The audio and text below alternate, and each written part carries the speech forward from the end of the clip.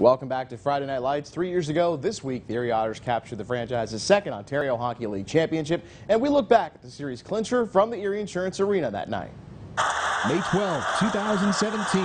After four straight 50-win seasons, a previous trip to the OHL Finals, and the names in place for one more run going all in, as they famously said, the Erie Otters, along with a fan base of more than 7,000 strong, starved for championship glory, entered the Erie Insurance Arena, leading OHL Eastern Conference champion Mississauga three games to one, with a chance to sew up the franchise's second OHL crown. I think the mindset for the team was finish the job a lot of those guys, they had been there before. You had a lot of holdovers from losing in 2015 to the Oshawa Generals. Though it wouldn't be easy, the Steelheads led 2 0 after 1 and 3 to 1 nearing the end of the second period when Taylor Raddysh would tally his second goal of the night, scoring on a power play to make it 3 2 heading for the third. This team was not going to allow this chance to slip away.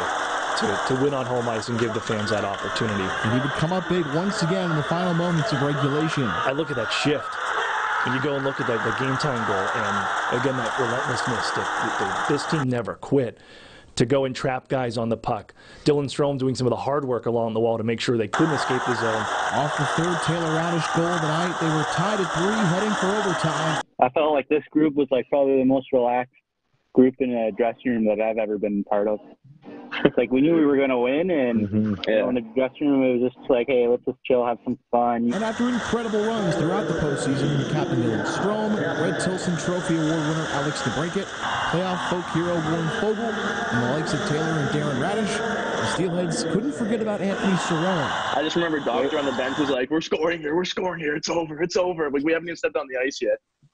They've seen him score clutch goals. He was, you know, performed in that as a rookie, uh, free agent rookie for Oshawa in 2015 when they went to win the championship, scored the Memorial Cup overtime goal. That was the play was to go to Tony. We drew it up in the intermission. The Otters prevail on Cirelli's power play goal. Final score, 4-3 in overtime. Feels unbelievable. You know, uh, you're coming to the area you know, back in January, and they, uh, you know, everyone's welcomed me. So bringing uh, bringing the fans and the team home a championship uh, feels amazing. Winning the series four games to one and clinching the 2017 Ontario Hockey League championship. He's been great. You know, uh, I don't know how many game-winning goals he's had. You know, he's made scored at uh, big times, and you know he's really helped us out. Yeah, it's pretty cool with with having Darren here. It's it's something I will never forget. It's not what many middles get to do. I, I think only a few have done it in the past, and for the rest of these guys, I've been with I've been with them for most of for three years, and it's it's been a lot of fun, and I, I it's a I'm speechless right now. I actually watched it the the other day. I found it on my laptop, and it's just like just guys yelling in the in the, in the GoPro. You can't even you can't even hear what's going on. The second J. Ross Robertson Cup in franchise history for Erie. Still at a loss for words. I mean, been four years down this road, and we finally did it at the end. So you know, credit to you know, coaching staff and Brownie. I remember the the, the cup the cup had like a, a top in it, and I didn't know how to like hold it. So I literally was on I was on YouTube the night before, like in case we won. I, I, I that's why I took the top of the cup off.